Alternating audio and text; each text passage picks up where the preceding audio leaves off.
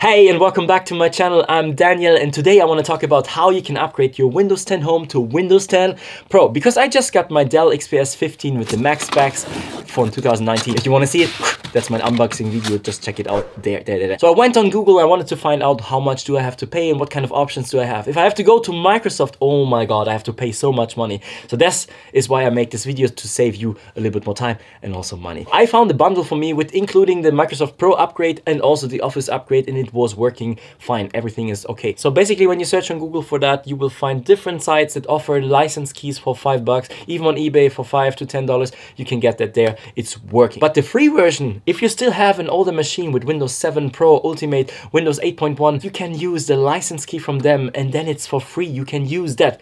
But be aware, if you use that, that means that your older machine will not have an activated Windows anymore.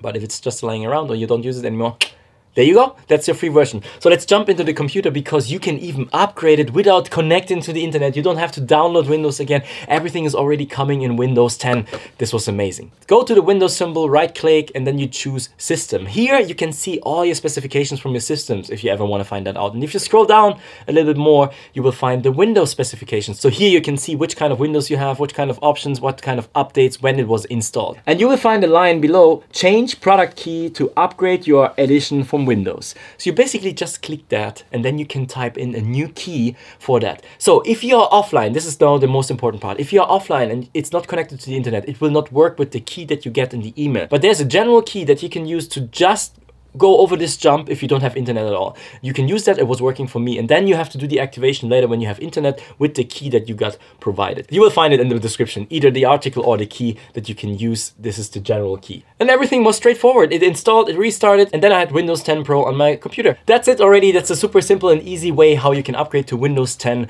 Pro on your machine without even having internet. And also for free if you still have a license key somewhere lying around. Anyway, I'm Daniel and I'm documenting the whole journey of building my travel business business here on this channel. Since the last four and a half years, I was traveling around the world and I make my money just with my two blogs and my YouTube channel, my main channel. You should check out my main channel.